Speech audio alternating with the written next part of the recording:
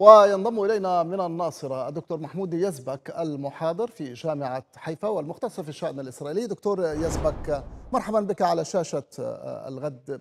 بداية يعني لماذا هذه الاستقالة في هذا الوقت بالذات من رئيس شعبة الاستخبارات العسكرية بعد مرور 199 يوما على 7 من أكتوبر؟ مساء الخير. يعني واضح أنه هذه الاستقالة كان يجب أن تأتي في وقت مبكر حتى يعني مع بداية الحرب ومع بداية الفشل الإسرائيلي الاستخباراتي وهو هذا الشخص يعني كان يعني وظيفته هي رئيس الاستخبارات ومعنى ذلك إنه هو شخصيا فشل في التنبؤ بما حدث في 7 أكتوبر وبمقدرة حماس والى آخره. وكان قد أعلن حليوه كان يعني قبل مدة من الزمن عن نيته بالاستقالة لكن يعني أرادوا على الأقل في هذه الفترة قدر الإمكان إبقائه حتى يعني يتم تدارك الأمور لكن على ما يبدو إنه هو وصل إلى مرحلة لم يستطع بعدها ان أن يبقى في الجيش بسبب الضغوط الكثيرة يعني عليه إنه هو كشخص فاشل وما زال يقوم بالوظيفة التي فشل بها. وأكثر من ذلك الفشل الأخير كان حين كانت يعني يوم 13 14 4 حين كانت الضربة الإيرانية التي وجهت لإسرائيل الصواريخ والمسيرات الإيرانية. حتى في هذه القضية حسب تقديراته وحسب الرسالة التي بعثها للحكومة التقرير المكتوب الذي أرسله للحكومة بأنه لا يتوقع نتيجة للهجوم الإسرائيلي على القنصلية الأمريكية هو لا يتوقع أن يكون ردا ايرانيا بهذا الشكل لأنه إيران يعني مردوعة يعني قوة الردع الإسرائيلية ما زالت موجودة.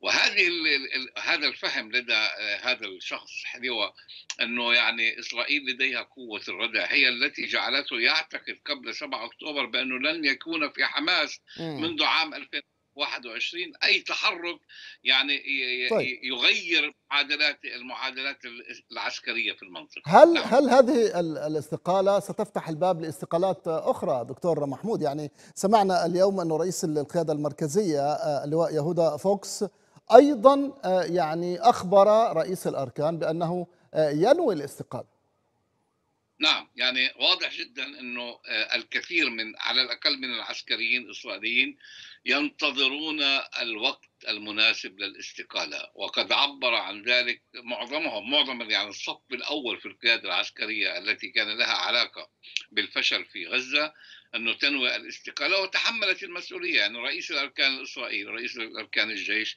هو أعلن أنه يتحمل مسؤولية لكن يرهن قضية استقالته من هذا من هذا الفشل. والسبب يعني القضية الأساسية هي ليست استقالة يعني قيادة الجيش، قيادة الجيش تعترف إنها فشلت. وتنتظر الوقت المناسب للاستقالة، وطبعا سيأتي بعد هذه الاستقالة مثل ما ذكرت فوكس وغيره من سيعلن إنه خلص يعني لم يعد يحتمل أن يبقى في وظيفته كفاشل. والسؤال المهم إنه هل القيادة السياسية الإسرائيلية وعلى رأس الهرم رئيس الحكومة الإسرائيلية وهو أكثر من فشل في هذه القضية هل هو يعني هذا سيشجعه أو سيضغطه من أجل تغيير موقفه موقفه بأنه هو ليس مسؤولا عن الفشل العسكري؟ بل إذا تذكر معي سيد العزيز يعني في بداية الحرب وقام نتنياهو بكتابة تويت معين صحيح. وتم محوه بعد ساعتين أو ثلاثة ساعات به قيادة الجيش. صحيح. هناك كانت يعني القرار واضح القرار الذي اتخذه نتنياهو بأنه هو يريد أن يحمي نفسه أنه ليس مسؤولا عن هذا ولكن المجتمع الإسرائيلي كله يحمل رئيس الحكومة المسؤول. وهناك ربما في هذه النقطة دكتور محمود من يعتبر استقالة حليفة هي رسالة منه إلى المواطنين الإسرائيليين بأن الحرب كعملية عسكرية الحرب انتهت لم يعد هناك فائدة وأن استمرار العملية العسكرية في غزة إنما هي رغبة من نتنياهو للبقاء في المشهد السياسي. نعم. هذا كلام يعني صحيح 100% ويجب أن نذكر كذلك يعني قبل هذه الاستقالة بانه هنالك قبل حوالي ثلاثة أشهر وأكثر حتى كانت هنالك رسالة موجهة من 124 ضابط في الجيش الإسرائيلي ضباط كبار سابقين في الجيش الإسرائيلي وجهوها إلى نتنياهو وقالوا بها بالحرف الواحد بأن إسرائيل لن تست... لا... لا تستطيع أن تربح في هذه الحرب تكسب هذه الحرب هذه حرب فش يعني يجب على إسرائيل أن تعترف أنها فشلت بها وتتحمل آه، مسؤولية هذا الفشل. هذا كان قبل حوالي ثلاثة أشهر ونصف تقريبا. وما زال الوضع كلما تقدمت الأيام. نعم هنالك دمار أكبر وعدد قتلى أكبر من الفلسطينيين أطفال نساء أولاد يقتلون يوميا بكميات هائلة وكبيرة. ولكن على المستوى العسكري على ما يبدو أن الحرب استنفذت نفسها وكما يعني يقول آه، القائد المستقيل خليفة أنه عمليا هو يكتب في رسالته بأن هذا الوضع الذي تعيشه إسرائيل يجب أن يغير من الأساس. ما. معنى كلمة تغييره من الأساس؟ يعني بشكل واضح أنه إقامة لجنة تحقيق يطلب الآن إقامة لجنة تحقيق ومن يمنع إقامة لجنة تحقيق هو الحكومة ورئيس الحكومة الإسرائيلية. ويريدها ليس لجنة تحقيق عادية ولكن يسميها لجنة تحقيق رسمية بمعنى أن يسن قانون في الكنيست الذي يعطي لهذه اللجنة صلاحيات واسعة حسب القانون وتستطيع إقالة بل وسجن المسؤول عن الفشل الذي حصل. 7 أكتوبر وحتى عن فشل الحرب كاملة حتى اليوم وبما أن إسرائيل فشلت آه، فشلت في هذه الحرب ولذلك نتنياهو يعني يعرف إنه إذا ما قامت لجنة التحقيق هذه قد تفتح أمامه أبواب السجن بشكل واضح وغير طب. دكتور أعود إلى هذه الشخصية هارون حليفة يعني الجميع يعلم بأنه كان مع أسرته في منتجع في إيلات وأنه لم يكن لديه رد الفعل المناسب على ما تم إبلاغه به في يعني يوم السابع من أكتوبر قبل عدة ساعات من بدء هجوم حماس يعني.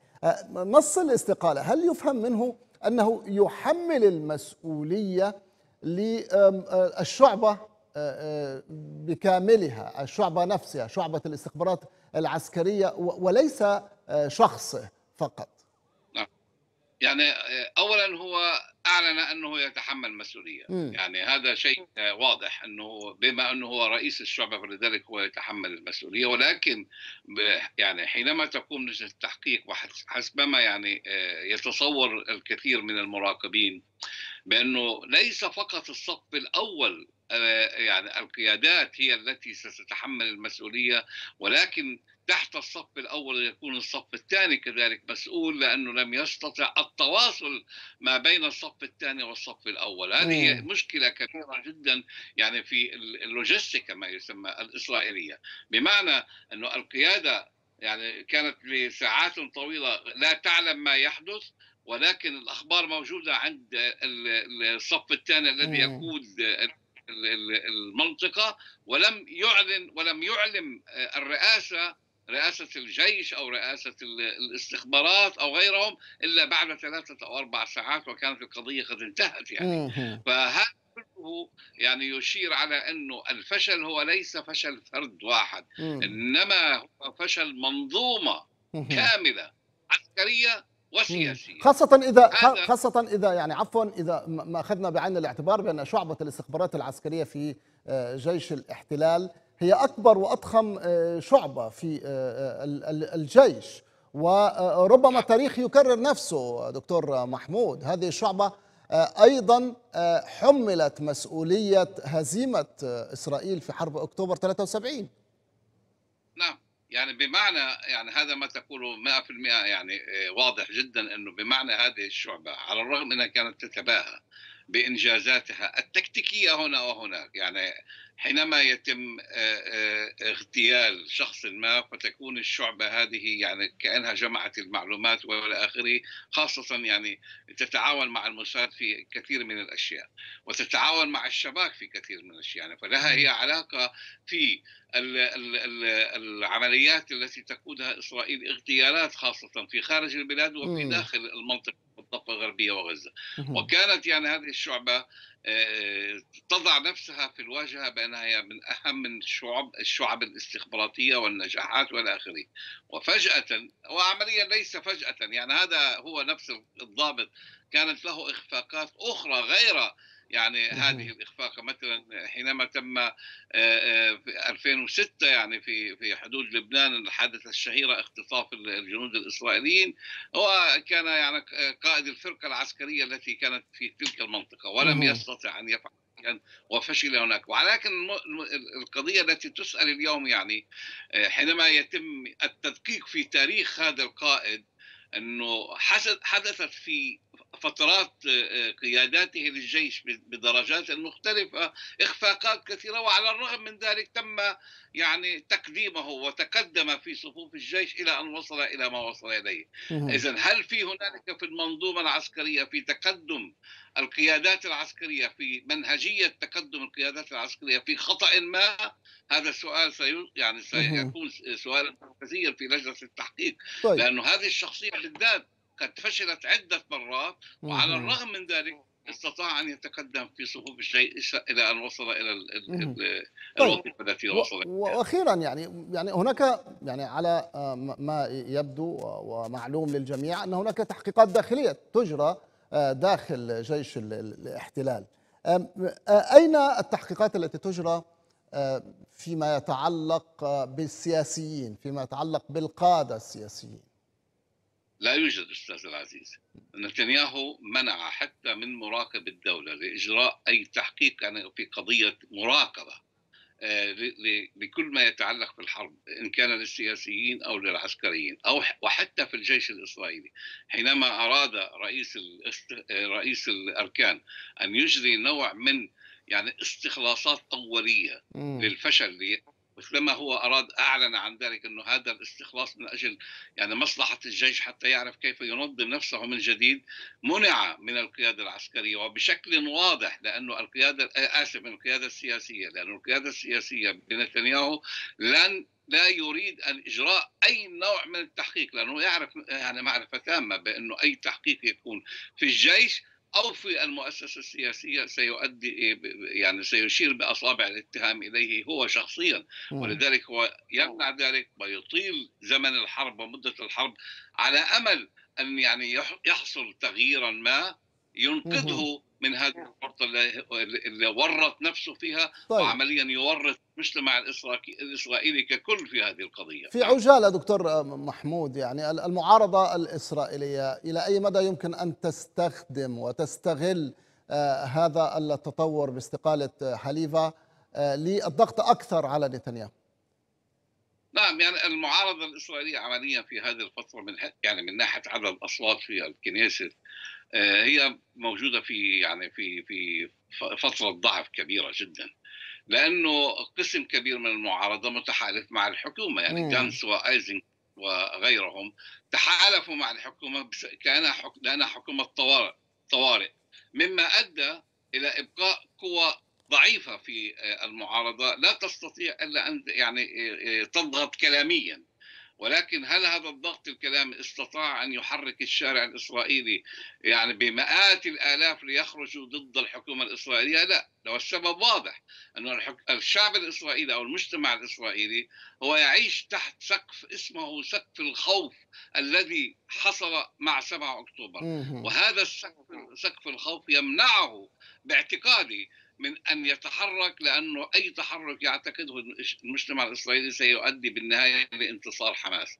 وهو حتى هذه اللحظة لم يتخلص من هذا الضغط النفسي والخوف. ولذلك أنت تجد في أكبر المظاهرات التي تكون حوالي 100 إلى 150 ألف في يعني هاي في في في أكثر المظاهرات. بينما قبل الانتخابات قبل آسف قبل الحرب. كان هنالك 400 و500 ألف وكانت يعني كرسي نتنياهو تهتز صحيح. في المظاهرات اللي كانت صحيح. الحرب المجتمع لم يستطع أن يعود إلى نفسه نعم. لهذه المظاهرات لأنه يشعر أنه التهديد الموجود من قبل حماس يهدده أشكرك. وهو ما أسميه المعيشة تحت سقف الرعب. أشكرك. شكرا جزيلا دكتور محمود. يزبك المحاضر في جامعة آه، حيفا والمختص في الشأن الإسرائيلي شكرا جزيلا.